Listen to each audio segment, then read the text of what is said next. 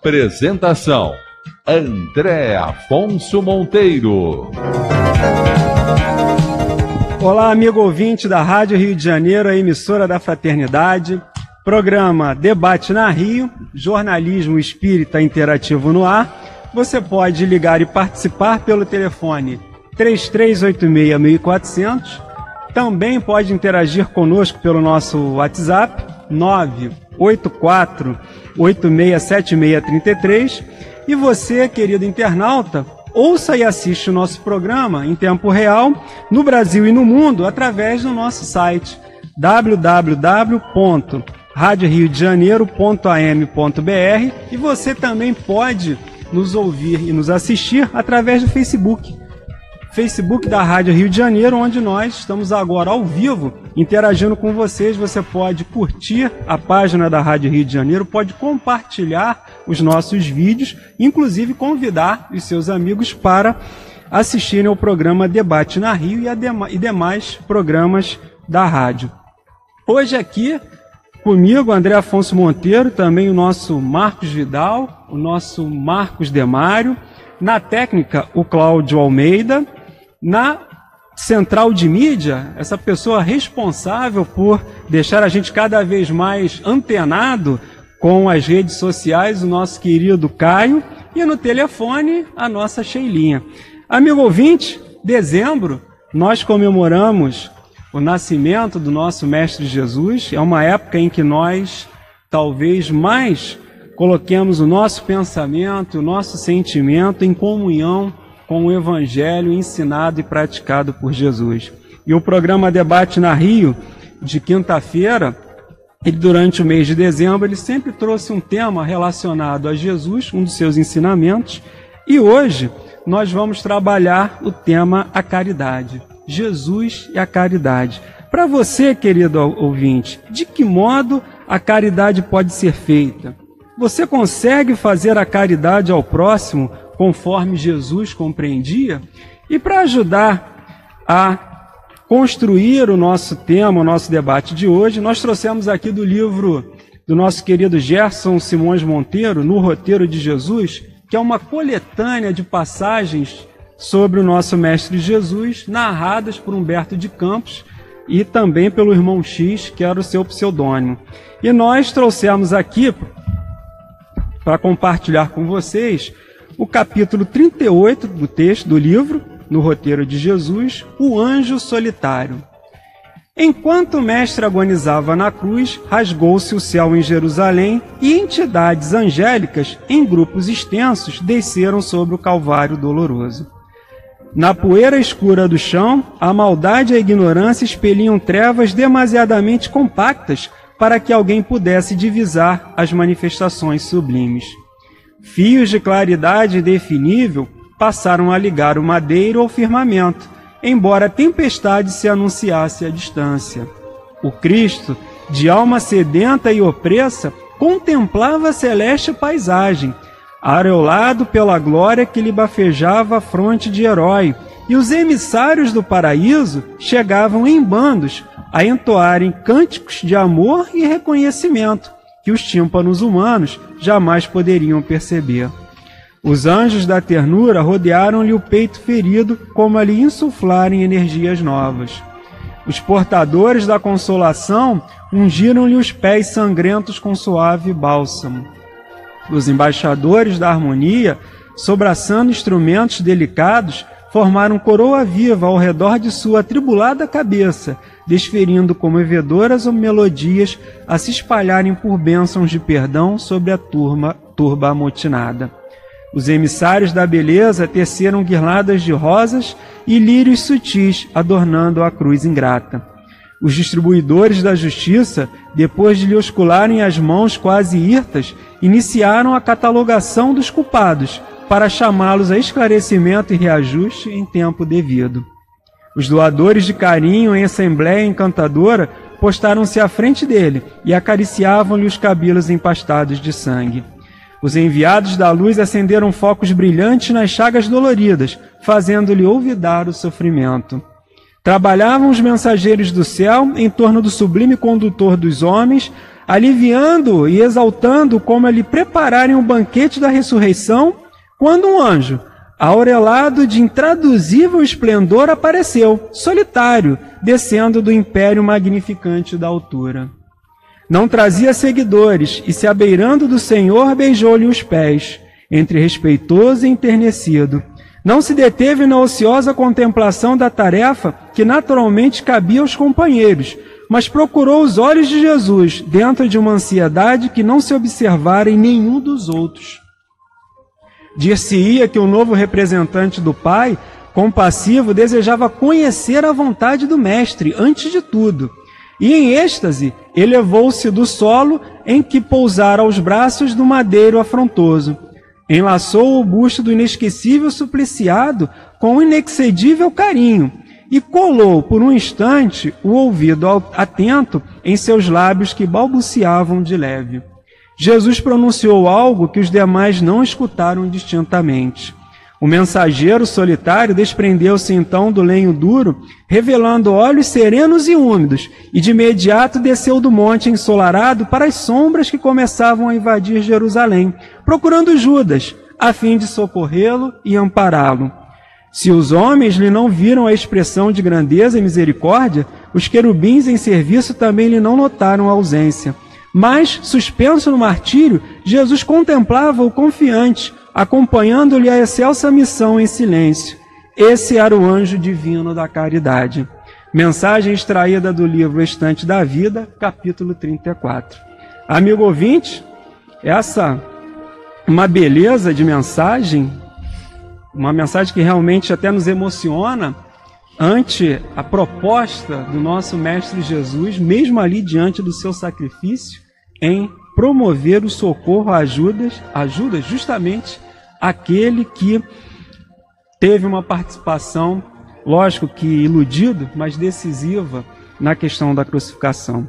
Marcos de Mário, depois dessa oitiva, dessa mensagem, de que modo a caridade pode ser feita? Como a gente consegue fazer a caridade ao próximo conforme o nosso próprio, próprio Mestre Jesus assim compreendia? Bem, nesta data que nós nos aproximamos tanto do Natal, realmente é muito importante nós falarmos de Jesus, falarmos da caridade e do amor ao próximo. Há uma mensagem é, publicada no capítulo 13 de O Evangelho segundo o Espiritismo, é o item 10 desse capítulo, mensagem dada na cidade de Lyon, no ano de 1860, e assinada simplesmente por um espírito protetor. Então, nessa mensagem, estou repetindo, né, Evangelho segundo o Espiritismo, capítulo 13, item 10, ele começa dizendo o seguinte: Meus amigos, há muitos dentro de vós tenho ouvido dizer, como hei de fazer caridade se a miúde nem mesmo do necessário dispõe. Amigos, de mil maneiras se faz a caridade. Podeis fazê-la por pensamentos, por palavras e por ações. E aí, na sequência, ele vai discorrer. Fazer por? Por, vamos lá. Fazer por pensamentos, por palavras e por ações. Vamos então aqui uh, tentar é, traduzir para nós, no nosso dia a dia, deste nosso mundo contemporâneo, desta nossa sociedade altamente tecnológica, como fazer a caridade através desses três instrumentos. Então ele coloca primeiramente por pensamentos. E ele distingue logo a caridade material da caridade moral. Materialmente falando, talvez você uh, esteja passando aí por dificuldades, por problemas financeiros, e você não tenha realmente como dar recursos, como por exemplo um alimento, uma roupa, etc., para alguém que esteja também necessitado. Mas aí nós entramos para o campo da caridade moral. E o primeiro é o pensamento, ou seja, emitir vibrações, ondas mentais positivas para os outros, evitar de tecer maus julgamentos. Você não vai verbalizar, mas está lá pensando. Não está sabendo de alguém necessitado? Ore por esse alguém intimamente. Você está exercendo o pensamento, emitindo boas vibrações para essa Sim. pessoa e acionando os bons espíritos, que vão também a socorro, porque o socorro divino não falta a ninguém. a nenhum dos seus filhos. Então você pode fazer a caridade por pensamento. Uh, vai fazer a caridade por palavras. É, nós já estudamos bastante, já sabemos que a língua é um problema sério entre nós, que ainda somos espíritos inferiores. É, mas, justamente, é, utilizando bem a língua, é caridade. Ou seja, vamos dar um exemplo bem prático. Você está assistindo o jornal, né, as notícias, está vendo as notícias, ou pela televisão ou pela internet, e você vai se deparar daquelas notícias não muito boas, e que primeiramente você pensa logo em fazer comentários indevidos, né, e querer mandar todo mundo para cadeia, isso e aquilo. Mas é aí que você é espírita, você é cristão. Então você tem que lembrar isso. Não, calma.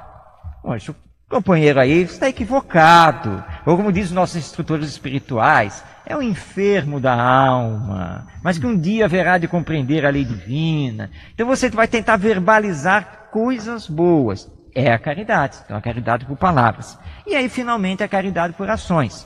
Não, mas aí que está. Como que eu vou fazer a caridade por ação se eu não tenho nem o que dar? Mas não significa que você tenha que dar alguma coisa materialmente falando.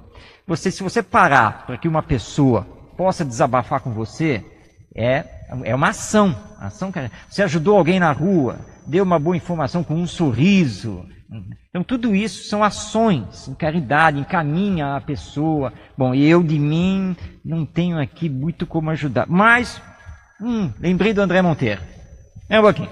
Vou lhe encaminhar lá ao telefone dele e tal, não sei o que, que ele é ligado a isso e aquilo, e de repente é ação. Você agiu a benefício do próximo. Então tem razão esse espírito protetor uh, aqui no Evangelho segundo o Espiritismo. Uh, nós temos mil modos de poder praticar a caridade e não ficarmos simplesmente parados nessa questão uh, do dar materialmente falando. É claro que se for possível e há essa necessidade, nós vamos, ter, vamos agir também nesse campo. Mas nós temos aí então a caridade pelo viés moral, que aliás os Espíritos são muito claros a dizer que ela é a mais importante das caridades. Muito bem. Nádia do Couto Vale. Sim, André Afonso Monteiro. Dick, seja bem-vinda. Obrigada. Inicialmente.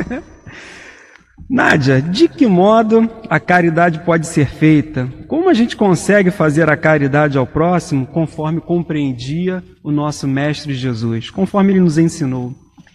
É, tudo que Jesus nos ensinou foi de uma forma didática muito especial para seres em nosso nível evolutivo podermos entender até mesmo na progressão das nossas eh, encarnações.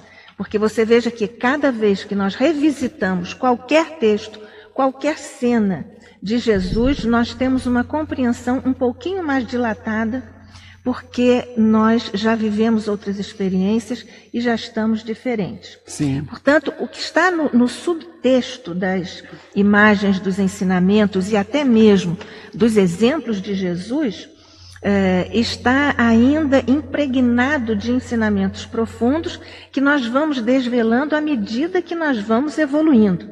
E todos nós aqui que estudamos, e você também ouvinte, todos nós sabemos disso, temos essa experiência de despertarmos para coisas, para ideias que nos acodem, às vezes na quinta leitura de uma cena de Jesus, porque nós estamos um pouquinho mais despertos também do ponto de vista moral. A caridade é alguma coisa tão essencial para a nossa trilha evolutiva. No, no Evangelho, por exemplo, nós temos aquela, aquele texto maravilhoso sobre o Espírito Cáritas, não é isso? Nós temos uma prece linda, a prece de Cáritas. É, Jesus é, deixou para nós esses exemplos todos, e Humberto de Campos é, tem essa facilidade maravilhosa de nos trazer essa descrição ao mesmo tempo jornalística, porque ele consegue um, ele né? consegue uma coisa muito interessante, porque o estilo jornalístico é muito objetivo, não não admite muitas interpretações, aliás, não admite, não deve admitir interpretações, não é? porque trabalha só com a denotação, mas ele consegue dar conotações, fulgurações, sutilezas, colorações muito interessantes que despertam em nós um sentimento profundo, uma delicadeza, uma ternura e uma admiração profunda por este ser que permanece inabordável para nós em sua estatura, em sua grandeza cósmica. Mas aí você veja que até o Marcos já sinalizou muito bem isso, que nós temos a caridade material, que quando a pessoa não tem, você fez muito bem, avaliou isso, né? Mas às vezes a pessoa tem e tem também dificuldade de se desapegar de alguma coisa. É, a caridade moral ainda é um pouco mais difícil, porque depende de nós, pelo menos, neutralizarmos os nossos defeitos, sobretudo a nossa, o nosso apego, a nossa ganância, o nosso orgulho, etc. Portanto, há pressupostos morais muito importantes para nós nos habilitarmos à prática da caridade moral, mas nós vamos fazendo isso. Marcos lembrou: ah, você ouve direitinho e não deu ouvidos. Ouvir sem dar ouvidos, né? Porque Jesus disse: você deve ter ouvidos de ouvir, mas ele não disse e divulgar. Ele não disse isso, que é o que nós às vezes fazemos, fazemos quando nós ouvimos, não é isso? E a mesma coisa com quem tiver olhos de ver, que veja, também não diz para divulgar, sabe? Tá, não, não. Então, essa, essa caridade que se revela uma, uma atividade mento-espiritual muito importante e ampla, ainda sinaliza para nós uma dificuldade, ainda uma dificuldade é, existe um, um, um desdobramento da caridade, que é a caridade intelectual. Não é quando você sabe coisas e nós vivemos num mundo em que, em administração, por exemplo, a informação é tecnologia, então as pessoas não contam o que sabem. Mesmo alguns professores, eu sou professora, mas não faço isso não, viu, que eu vou dizer, hein, ouvinte? mas aí os, eles não, eh, os professores não ensinam tudo o que sabem, né? Na verdade, é, há um, uma situação aí didático-pedagógica importante, de que Jesus é o exemplo máximo, portanto, que nós devemos, como uma regra de ouro de didática, é a minha área, você, os professores não devemos ensinar tudo o que sabemos naquele momento para os alunos, porque eles não têm capacidade de assimilar e digerir. Mas temos obrigação, e aí entra a caridade moral, a obrigação moral, de sabermos tudo o que ensinamos, ou que pelo menos espera-se que nós ensinemos. Então, essa caridade moral, essa caridade que tem muitas refrações em torno das nossas, dos convites que a vida nos oferece, é, permanece como um grande desafio. Mas Jesus é o exemplo máximo, essa luz de caridade que é, ilumina a nossa vida. Marcos Vidal, para sua primeira participação, de que modo, Marcos, a caridade pode ser feita, já baseado até no que a Nádia já colocou, o Marcos Demário também. Como a gente consegue fazer a caridade ao próximo da maneira como Jesus compreendia, como ele nos ensinou e nos exemplificou também. É, é, me fez lembrar uma história de um jovem, né, que era ele era um cristão novo, né, adentrou numa casa espírita, era um médium, uma uma potência. uma potência mediúnica fabulosa, e ele começou a estudar o Evangelho. Quando ele chegou na parte de homem de bem, ele deu uma travada, não é? Capítulo eram, 17, em um Evangelho. É, porque chegou, é, eram tantas as virtudes que o homem de bem tinha, teria que ter, né, que ele não sabia nem por onde começar. Aí o, o, o espírito protetor dele chegou né, e falou assim: O que está te atrapalhando, João? O que está que que tá acontecendo? Ele falou assim: Não, que são tantas as virtudes que tem que ter o homem de bem que eu não sei, não é? E ele fala assim: Então escolhe uma. E ele travou de novo: Que uma? Não é? Que uma eu vou escolher? Aí o, o anjo protetor, o, o espírito protetor chegou para ele e falou assim: escolha a caridade. Mas olha, a caridade no pensamento, a caridade no olhar, a caridade nas palavras e a caridade nas atitudes. Né? E daqui a dois anos eu volto para ver como é que você está se desenvolvendo. Né? E ele passou o tempo e, o rapaz começou a desenvolver realmente. Né? Ele é, se esforçou, praticou né? na, na casa onde ele trabalhava e ele acabou se de- desenvolvendo outras virtudes, como a paciência, a tolerância, a compreensão. E quando o, o Espírito Protetor retornou e viu o quanto ele já tinha evoluído, não é? através dessa, dessa simples eh, iniciativa que ele teve através da caridade. É claro que dois anos é, um, é simbólico, né? podemos demorar décadas, séculos, né? para nos desenvolver, mas o importante é o primeiro passo, é começar. Né?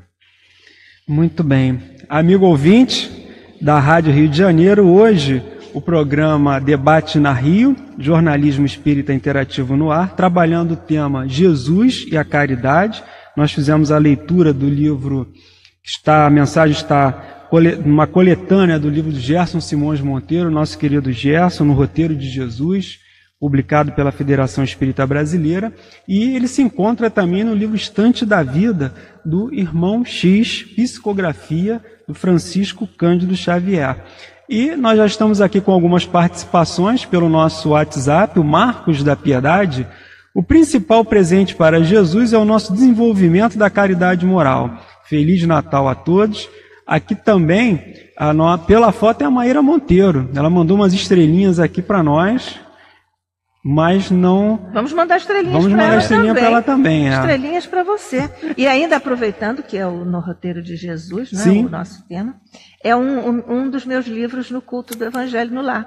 E interessante que esta semana eu abri aspas ao acaso e abri esta lição, o anjo solitário. É muito bonito. É lindo uma- isso, é lindo. uma- Lindo, Não foi por acaso. Não né? foi por acaso, não, por isso que eu coloquei entre aspas. É, E aliás, André, uma boa caridade que os pais podem fazer com seus filhos, por exemplo, ainda mais nesta época, é ensinar que o aniversariante é Jesus. Jesus. né, que não Muito temos bem nada a lembrado, ver né? com essa história de Papai Noel, de comércio, de presentes, que o capitalismo selvagem nos impingiu. né, então é muito importante. Isso é uma caridade. né? Sim. Porque senão depois, como nós estávamos conversando antes de entrarmos aqui para o programa, os pais vão ter que desconstruir né, é- é essa coisa do Papai Noel, porque na verdade não existe, o que pode gerar até traumas. Mas se você ensinar Jesus, isso vai ser para o resto da vida. Das da- vidas. Das Das vidas, vidas. né? Essa nossa vida imortal. É isso que o Marcos está falando, é importantíssimo, porque tem um companheiro nosso, até que da rádio também, o Alfredo, tem um programa na sexta-feira, ele ficou, isso ficou bem marcado para ele, porque ele se lembra que um tempo atrás, é, ele estava num shopping e a pessoa, era essa época de dezembro, e a mãe conversando ali com o filho, o filho, mãe, o que a gente está comemorando em dezembro? Ah, é o aniversário de Papai Noel. Então, eh, são os valores que estão sendo invertidos e a gente tem que realmente chamar na nossa responsabilidade para esse momento, principalmente, né, para primeiro trazer a realidade, afastar o que é folclore, afas- afastar aquilo que faz parte da nossa cultura por, uma- por questões comerciais, mas trazer o verdadeiro sentido do Natal. É lógico que a gente tem muita troca de presente, né, muita amigo oculto, mas a gente tem que se lembrar, muita fartura à mesa, até a questão dos animais também. O Emmanuel tem uma passagem também interessantíssima sobre isso, acho que é uma antologia mediúnica do Natal, mas a gente tem que ver qual o verdadeiro sentido do Natal, o que, que representa o Natal para nós. E é por isso que a Rádio Rio de Janeiro, no, no programa Debate na Rio, trouxe nos meses, no mês de dezembro, nas quintas-feiras, temas relacionados a Jesus. É para a gente, justamente nessa época, nesse momento, a gente voltar o nosso pensamento, voltar o nosso sentimento para Jesus. O Natal com Jesus em nossos corações. Um Natal de perdão, um Natal de humildade, de simplicidade e, acima de tudo, numa esperança e renovação da nossa fé em futuro, um futuro melhor. Porque o futuro realmente nos prevê coisas melhores. A gente tem é, uma intuição de um futuro melhor, mas não podemos nos deixar influenciar pelas informações negativas. Programa Debate na Rio, nós faremos uma pequena pausa e retornaremos em instantes. Debate na Rio. angustiado, cheio de problemas e sem ninguém para conversar. Então diz que 188. 188 é o novo número de atendimento telefônico do CVV, Centro de Valorização da Vida. Celular ou telefone fixo, a ligação é gratuita e funciona 24 horas todos os dias. Ligue 188 e receba apoio emocional. Para você que gosta de estar atualizado, vem aí o 5 Congresso Espírita do Estado do Rio de Janeiro. Você não pode perder vagas limitadas. Dias 12, 13 e 14 de outubro de 2018, no Centro de Convenções Sul América. Venha participar deste momento único com palestras doutrinárias de grandes expositores espíritas da atualidade. 150 anos de A Gênese, iluminando novos tempos. Pagamento da inscrição facilitado pelo site www.cerge.org.br. Realização Conselho Espírita do Estado do Rio de Janeiro. Divaldo Franco no Rio. Não percam o tradicional seminário de Divaldo Franco com o MAP, Movimento de Amor ao Próximo, que será realizado no mês de abril no Metropolitan, na Barra da Tijuca. Tema: Depressão e Suicídio. Como o Espiritismo pode ajudar a combater?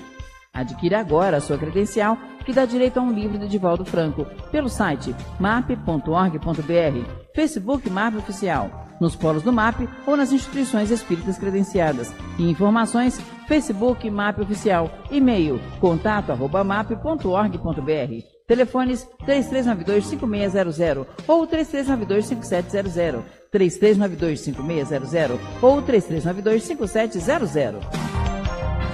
Estamos nas redes sociais. Diariamente, do meio-dia às cinco da tarde, transmitimos diversos programas ao vivo pelo Facebook. Você pode acompanhar curtindo, comentando e compartilhando cada vídeo para que mais e mais pessoas tomem conhecimento da rádio que toda a família pode ouvir. Todos esses vídeos estão disponíveis em nosso canal no YouTube. Visite nosso site e conheça melhor a nossa programação. Rádio Rio de Janeiro.am.br Já está nas bancas o jornal Correio Espírita. Leia na edição de dezembro. Aborto, infanticídio intrauterino. Que seja Natal sempre em nossos corações. Saiba mais sobre as leis morais do Cristo e enxugue suas lágrimas. Tudo passa nessa vida, menos a presença de Deus. Estas e outras notícias você encontra no jornal Correio Espírita. Assine já pelo telefone 27212505, de segunda a sexta, ou pelo site correioespírita.org.br. Da obra literária de Raul Teixeira, a editora Frater apresenta os livros Desafios na Vida Familiar e Quem é o Cristo, ambos psicografados através da mediunidade de Raul Teixeira. Um excelente presente de Natal. Você pode comprar em nossa loja virtual, editorafrater.com.br, com 10% de desconto ou com o frete grátis. Você escolhe. Se desejar, entre em contato pelo telefone 21262209824, repetindo 21262209824 ou por e-mail editora arroba editorafrater.com.br.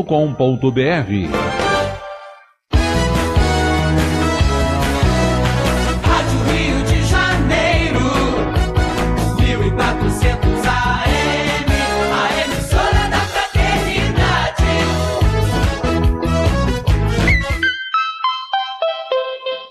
Treze horas e 30 minutos. Debate na Rio.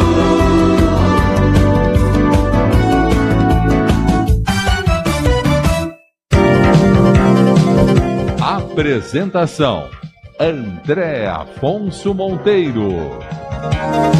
Programa Debate na Rio, jornalismo espírita interativo no ar. Você pode ligar e participar pelo telefone 3386-1400, que a nossa Sheilinha vai lhe atender com a maior gentileza possível.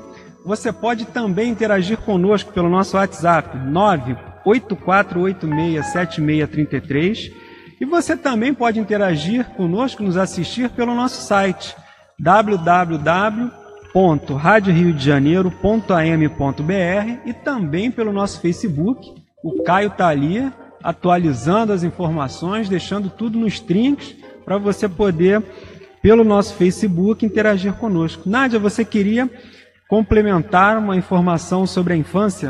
É, no intervalo nós conversamos sobre isso, porque o Marcos puxou aí um fio sobre a responsabilidade dos pais no contexto desse dar presentes, é até um delírio consumista, né, de, de dar e comprar, e é uma insaciabilidade que se instala a partir da faixa infantil. o que é muito grave.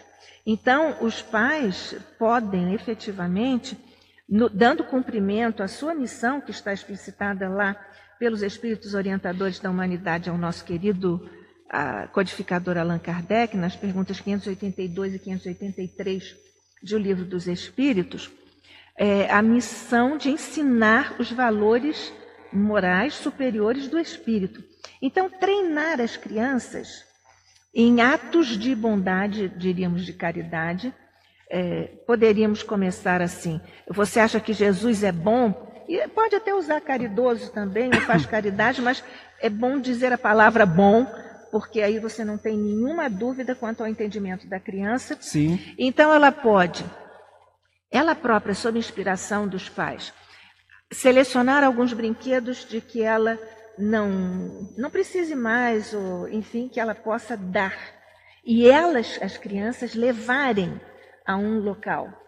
As crianças que estejam já eh, orientadas num- numa direção religiosa, também saberem que fazendo uma prece para todo mundo, para as crianças que sofrem, porque elas veem isso na televisão, para as crianças que estão em climas de guerra, fazer uma prece, pedir a Jesus e a Deus, Papai do céu, qualquer terminologia que seja, para ela orar. E visitar eh, orfanatos, não é? Para ela compreender que há outras criaturas, enfim, sair de si, porque a caridade implica num movimento importante de cada um sair do seu eixo para ir na direção da necessidade do outro. Então, são essas questões e também eh, trabalhar, você lembrou muito bem a questão dos animais, porque nós eh, aprendemos que lá naquele momento sublime do nascimento de Jesus, Sim. havia animais, né? E eles estavam, não é, ouvinte, vivos. Eles estavam vivos E tem uma representação para isso. para isso. Então, é, será que nós não, não podemos abdicar um dia sequer para pouparmos a vida dos nossos irmãos né, da faixa animal, do reino animal? Será que nós não podemos entender que é um paradoxo, um absurdo que nós fazemos para celebrar a vinda de Jesus, a vida de Jesus, matarmos os nossos irmãos do reino animal? Essa é um- uma questão grave que nós também podemos começar a trabalhar junto às Isso aí, nossas Ana. crianças. Marcos, aqui pelo WhatsApp, a Mariana da Taquara, ela diz o seguinte: Jesus nos ensina Marcos Demário. Eu ia perguntar. Marcos. Temos os- hoje aqui é show de Marcos, Marcos Vidal e Marcos Demário. Demário, Vamos lá. a Mariana pelo WhatsApp, ela faz uma colocação. Jesus nos ensina que devemos nos predispor a servir sempre, pois como ele mesmo disse, que veio para servir e não ser servido. Ela agradece e deseja um, um Natal a todos. E Jesus ele foi um líder que serviu. Normalmente os líderes têm sempre uma equipe e ele é servido, mas Jesus ele vem com uma proposta diferente de servir aos seus servos, se podemos assim colocar, né, naquela, nessa, nessa- nesse jogo de palavras, mas ele veio para servir. É um- um- uma, uma colocação aqui que a Mariana coloca bem interessante. né? É, com certeza. É, hoje, no chamado mundo corporativo, né, o mundo das empresas, é, já se sabe, já se, já se trabalha muito isso, que o melhor líder é justamente o líder servidor. Sim, Porque é esse é, que não vai fazer simplesmente as coisas. Quer dizer, ele sabe delegar, ele sabe auxiliar, comandar a sua equipe para chegar lá nas metas, nos objetivos traçados e fazendo com que o grupo de trabalho eh, consiga realizar as coisas com a maior harmonia e equilíbrio. E, portanto, ele não é centralizador. Claro que não é fácil você chegar a esse ponto de ser esse líder servidor, como você muito bem lembrou, foi Jesus. Claro que Jesus, já espírito perfeito, no nosso guia e modelo, ele não tinha problemas para trabalhar isso. Nós ainda temos. Nós estamos vindo, por exemplo, de uma família patriarcal. sim. Ah, eu tive, é, eu chamo ele de tio-avô, porque ele foi padrasto né, da minha mãe, e que ele era realmente o patriarca da família. E ai de você, eu lá na minha adolescência, se falasse alguma coisa que eu contrariasse. Embora ele fosse uma pessoa boníssima, de muito bom coração. tá? Então nós estamos muito ligados ainda a isso. Por isso que nem sempre nós conseguimos servir ao próximo. né? Eu, inclusive, não diria né, que você vai ser servidor do servo, mas é do seu próximo, Do seu do seu próximo, irmão, é, da sua irmã, dentro das necessidades que ele apresenta. Hoje, nós estamos trabalhando muito isso também na educação. É para lembrar que o professor, a professora, precisa ser um orientador, um tutor, como dizia Pestalozzi, né, o segundo pai ou a segunda mãe, observar as necessidades daquela criança, daquele adolescente, para tentar atendê-las, mas, claro, dando também a devida autonomia. E eu estava recordando quando a, Nádia estava aqui falando da questão dos pais, dos filhos, essa questão da fantasia do Papai Noel e de levar os filhos para um orfanato, conhecer a realidade. Já uns anos atrás, eu estava lendo uma reportagem, era uma escola particular, lá de Recife, Pernambuco, e dentro da metodologia, eles tinham isso, eles faziam projetos e as turmas eram levadas aos bairros periféricos de Recife para conhecer a realidade, as necessidades daquela comunidade e aí então fazer então ações, Interagir. ações de integração e a benefício daquela comunidade. A escola, ela estava num bairro alta classe média lá de Recife e muitos alunos nos seus depoimentos falando do quanto aquilo era importante, porque no, no dia a dia deles, na vivência deles, não, não tinham nem ideia daquele mundo ali mesmo em Recife. Então, quando os pais, né, quando a família se der as mãos, se unir com a escola, né, para levar Jesus à caridade, com certeza nós vamos dar um passo bem grande aí na evolução da humanidade, porque vamos deixar de sermos meramente intelectualizados, Sim. mas vamos saber colocar o amor em ação, que é a caridade. Agora o Marcos Vidal. A Edna do Valqueire, pelo nosso telefone, Marcos, ela diz o seguinte: a caridade da forma que seja, a caridade, a- a caridade da forma que seja é caridade. Seja para quem for, sempre ajudando o nosso em qualquer situação, sem esperar nada em troca. É a caridade sem condição, ou seja, você não exigir nada em troca, né? a verdadeira caridade. É, essa é a verdadeira caridade, né? Mas nós é, podemos fazer a caridade sem sermos caridosos, né? Que é- existe uma grande diferença, né? Nós podemos dar e Paulo retrata muito bem isso na, na primeira é, epístola de aos Coríntios, né? No, no, no, no capítulo 13, ele fala que ele dá todos os bens, né? Mas se não for se- Ainda, né, se- que eu é, é, é, eu- estou até com texto aqui. Deixa eu ver se eu encontro. Que aí sem eu, o amor, eu- nada se- sem a É. caridade, nada seria. Exatamente. Ele fala sobre as virtudes teologais, não é isso? Sim. É, porque não adianta. é, você dá para se livrar. É, ele fala. Ele Aliás, fala... desculpe, Não, Marcos. falar. Aliás, é, o André Luiz tem lá em nosso lar um depoimento importantíssimo a esse respeito, porque ele fez várias consultas e ficou marcada uma consulta que ele fez, Sim. aspas, né, para se livrar, Se livrar da pessoa- daquele que é casal, é né? daquele casal, né, que estava ali importunando, ele já tinha cumprido o horário dele e tudo. Então ele fez é isso que o Marcos lembrou, né? Que às vezes você faz uma caridade sem ser caridoso. Exatamente. Porque ele fez com outra intenção. O importante é o sentimento, né? Exatamente. Mas foi exatamente isso que lhe valeu no Naquele plano momento. espiritual, porque a senhora, em gratidão, fazia preces por ele. Então, isso que o Marcos falou está exemplificado em André Luiz, né? É, exatamente. E agora ele vai exemplificar É, o, em Paulo. é, o, o Paulo ele fala exatamente isso, né? Ele fala assim: "E quando tivesse distribuído meus bens para alimentar os pobres, e tivesse entregue meu corpo para ser queimado, e não tivesse caridade, tudo isso não me serviria de nada."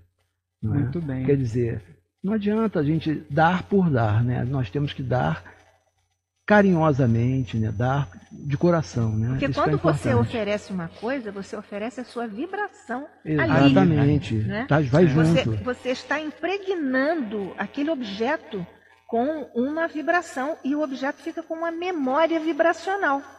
que às vezes pode até nem fazer muito bem a pessoa se você dá de má vontade, É verdade. Exatamente. dá por obrigação. Nádia, a Dalva de Padre Miguel, aqui pelo telefone, ela diz o seguinte, ó, querida Nádia e debatedores, boa tarde. Nádia, eu amei o que você falou no quadro pelos caminhos da educação a respeito dos animais. Aí ela pergunta, né, até quando andaremos na contramão das leis divinas, nos comprometendo com as mesmas escolhas equivocadas? Abrir mão de algo se gosta, que se gosta muito em favor de alguém que nunca saberá o que se fez também não é uma forma de caridade? Beijos vegetarianos e natalinos para todos. Oi, Dalva, beijos vegetarianos para você também, querida. É, a Dalva é uma militante é, nessa questão, eu também partilho disso. E essa crueldade que nós fazemos com os animais, sobretudo, você veja a nossa incoerência, né? Sobretudo, na época do Natal, nós gostamos do Chester. Ah, porque é o Chester. Você sabe o que que é o Chester? É um animalzinho que foi alimentado com hormônios criminosamente. Em confinamento, você vai vendo o acréscimo de tortura para o animal. A tal ponto que para ele ter aquele peitinho que todo mundo quer colocar sobre a mesa, na- no dia da vida de Jesus, ele perde o eixo, porque o peitinho fica muito pesado. Então, no final da vidinha dele, que foi para nada, ele ficou torturado o tempo todo, só para ter aquele peitinho que o comércio induz todo mundo a gostar, porque o paladar também é colonizado, e nós festejamos isso porque fizemos essa maldade com um bichinho que no final da sua vida não podia, não pode nem andar, nem se pôr de pé. Isso é celebrar a vida? É verdade. Beijos vegetarianos para você também, Dalva. Marcos, aqui o Gesselano de Nilópolis, pelo nosso telefone. A caridade é filosófica, a caridade é filosófica, é uma ciência, é uma arte, pois ela tem inúmeras maneiras de ser exercida, sem distinção de qualquer fator. Considero a mais alta expressão de oração. Gesselano, um abraço a você. É, sem dúvida, ah, sem, sem nenhuma dúvida. A caridade é o amor em ação. É, aliás, nós comentávamos antes aqui do programa que não adianta você ter muito conhecimento religioso, é você ser um expert aí no Evangelho, é, fazer palestras maravilhosas na tribuna, é, mas se você não pratica, se você não é, se você não está se esforçando para realizar. É claro é, que você sempre, sempre será levado pela lei divina em consideração o bem que você está proporcionando aos outros ao ensinar. Sim. Claro. Mas é aquela história que nos é contada pelos amigos espirituais, daquele palestrante maravilhoso que encantava as multidões, e ele percebia lá que no centro espírita em que ele atuava, sempre tinha lá um senhor que fazia questão de ouvir as palestras dele. Primeira fila. Esse senhor desencarnou, tudo bem, né? passou um, um tempo, né? e até que o nosso palestrante também desencarnou. E desencarnado, ele não se viu em condições espirituais das melhores, mas foi socorrido por um espírito de muita luz, e quando ele olhou, era aquele senhor que ficava lá prestando muita atenção nele. e ele não entendeu nada e perguntou, mas como pode ser isso? Porque eu sou um palestrante famoso, eu mexia com todo mundo, minha palavra, o senhor ficava lá só quietinho assistindo. Aí o que o espírito disse para ele, pois é, é que você falava, você pregava, e eu me esforçava em fazer, praticar. Essa foi a grande diferença. E realmente, a caridade é esse ato de amor em todas as suas expressões, como nós já vimos, e que precisa ser feito em oculto, em silêncio. Porque na medida em que você solta fogos de artifício para mostrar o que você faz, você já está perdendo a Já caridade. deixou de ser até humilde, né? Com certeza. É a história da mão, né? Mas você sabe, isso me faz lembrar uma frase do Nélio Lúcio que eu tomei como uma espécie de mantra para a minha vida. Ele diz: aquele que ama, portanto pratica a caridade, aquele que ama sempre caminhará à frente daquele que apenas sabe. Certeza. Então é esse, Sem faz dúvida. palestra, tudo muito bom, mas Mas, tem que amar. Sim. Né? Uma vez até me perguntaram sobre isso, qual era a melhor maneira de se divulgar o espiritismo. Eu falei que é pelo exemplo. Exatamente. É Exatamente. pelo exemplo, Sim, porque o seu dúvida. exemplo vai ser a melhor forma de você divulgar aquele ensinamento que você está, é, digamos assim, colocando ali no, no microfone. né? Principalmente para aquele que te conhece há muito tempo e vê o que, como você, Você era é- e como você É. passou a ser, né? É verdade. Inclusive, em relação a isso, André, estive agora recentemente em Volta Redonda, a convite dos companheiros dos polos lá da Comerge, para conversar com eles, lá, os coordenadores lá dos polos. né? E, foi muito gratificante, porque eu iniciei minha fala informando a eles que eu sou jurássico, porque eu sou da primeira Comerge, né, da fraternização das mocidades espíritas do estado do Rio de Janeiro. E eles ficaram assim encantados, que eles não sabiam disso. E eu Que falei, você olha, é jurássico? eu sou jurássico. E aí, Ou que Não você viu? era espírita. não, não. Não o- viu, não viu dilúvio, mas pisou na lama, né? É. O Spielberg até te- pensou em me contratar para um dos filmes Parque dos Dinossauros, mas aí não rolou, não, tá? Bem, mas enfim. E aí eu falei assim, olha, antes de abordar o tema que vocês me propuseram, eu vou contar para vocês algumas histórias que aconteceram na primeira Comércio, porque afinal de contas eu estava lá, eu testemunhei, e assim, né, relatei para eles ó, alguns casos, alguns acontecimentos daquela primeira Comércio. E aí foi muito rico, porque é essa questão, teoria e exemplo, né? teoria e prática. né? E aí quando eu terminei de conversar assim com eles, eu mesmo me observei, "Não, meu Deus do céu, eu estava nessa história. Né? Eu também fiz isso. É coisa, quer dizer, eu não sou só teoria. Lá na época estava lá com a Darcy, aquele pessoal colocando a mão na massa. né? Então hoje aqui, eu estou olhando para eles, eu não vou fazer uma coisa teórica. Porque você trabalhar a teoria, tudo bem, você estuda, Sim. o conhecimento lá, prepara tudo bonitinho, faz uma apresentação PowerPoint, não sei o que, você vai e faz. Você vivenciou, né? Mas eu vivenciei Embora seja aquilo. importante fazer o estudo Sim. e o Ah, planejamento, né? sim, É importante claro. fazer isso. Sem dúvida. Não se fi- perde. É, exatamente, não ficar Sem depois lá sem dúvida. rumo, né? Agora, nada melhor do que conseguir aliar as duas Exa- coisas, não, né? não, é imprescindível. Você primeiro estudar, preparar para fazer. Sem dúvida. É verdade. Aqui pelo nosso Facebook, Nádia, a Gilceia Nunes, ela diz o seguinte: o aniversariante é Jesus. O melhor presente que podemos oferecer-lhe é o nosso esforço diário para sermos cada dia melhores. Lindo tema, parabéns a todos os debatedores. Um Feliz Natal, Gilceia de Duque de Caxias. Ô, Gilceia, é, um abraço para você, querida. Você tocou aí em uma questão profunda que é a natureza das coisas. Se você pensar em como nós projetamos para Jesus as nossas dificuldades, os nossos caprichos, querendo coisas com as quais nós estamos tão entretidos aqui no mundo material, julgando que é pintando a casa de novo, nada contra, mas pintando a casa de novo, comprando móveis novos, faz- matando os animais para colocar lá sobre a mesa e deixar sobrar muita comida, para depois dizer assim: ah, eu dei para não sei quem. Não é isso? Isso é uma forma meio eu vou dizer indelicada. Para não ser indelicada, eu vou dizer uma frase mais delicada nesse particular, não é isso? Então, quando nós eh, vemos essa distância entre a natureza do que nós achamos que agrada a Jesus e que na verdade não agrada a Ele, agrada a nós, e a natureza de Jesus que nós não podemos ainda eh, alcançar, mas já sabemos que é muito diferente da nossa, está muito acima da nossa.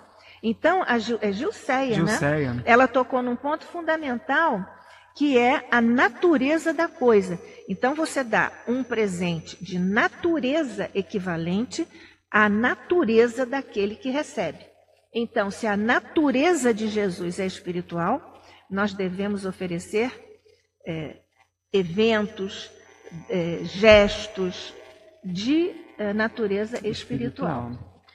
Marcos, aqui pelo Facebook, a Vivian Botega, ouvindo vocês e adorando o tema, afinal, fora da caridade não há salvação. Exatamente. Feliz Natal para a família da Rádio Rio de Janeiro. É, fora da caridade realmente não tem salvação, né?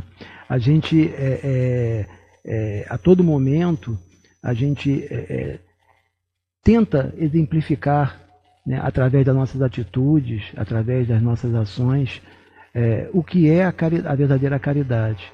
Não é? Na- no, no Evangelho, e nós já, já falamos aqui ah, várias vezes, né? em vários momentos, a importância da caridade. O que nós devemos fazer, né? que é o, é o tema, né? o que, que nós precisamos fazer para sermos caridosos. E às vezes outros. pequenas coisas, né? É, o ouvir, né? saber ouvir, nós, nós falamos mais do que ouvimos. Às vezes a pessoa está querendo só falar, Desabafar. desabafar, e a gente atropela, quer dar a nossa própria opinião a respeito, não é? E é importante saber ouvir. É, são coisas simples né, que nós temos no nosso dia a dia e a gente não consegue aplicá-los. né? É verdade. Estamos no Por isso esforço, que né? nós temos uma boca e dois, Dois ouvidos. ouvidos. né? É por isso. Saber e, aliás, ouvir. e aliás, por falar em língua e boca, o Tiago, na carta, né, a epístola do Tiago, tem uma outra frase muito interessante para a nossa meditação. Aquele que domina. Ele fala do cavalo, né?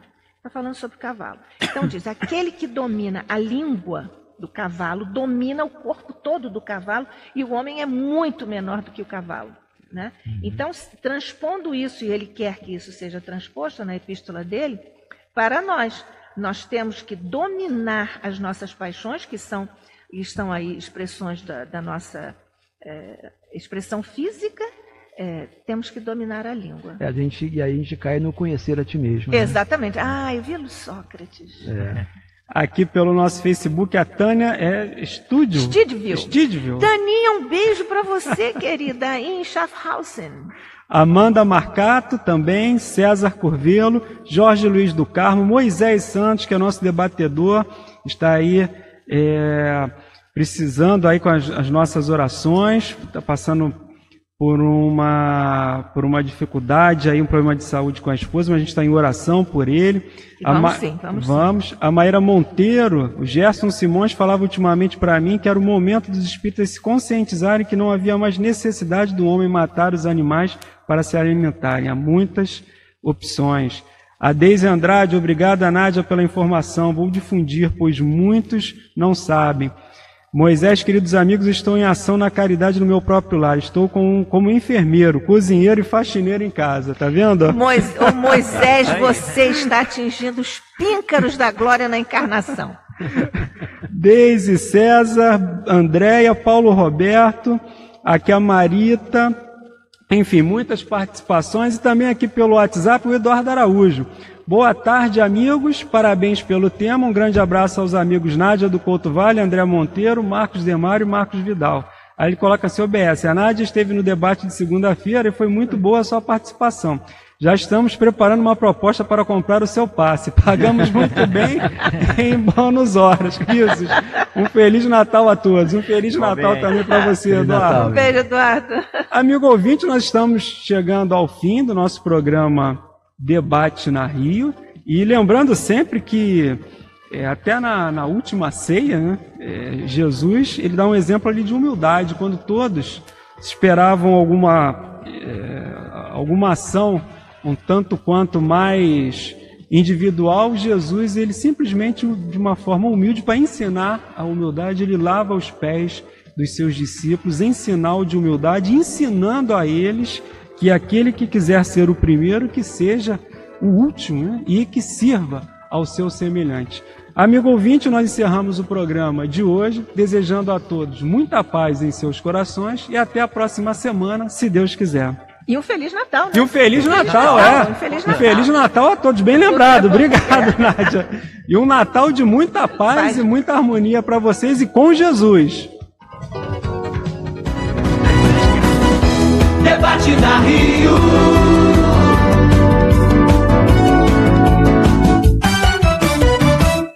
Rádio Rio de Janeiro.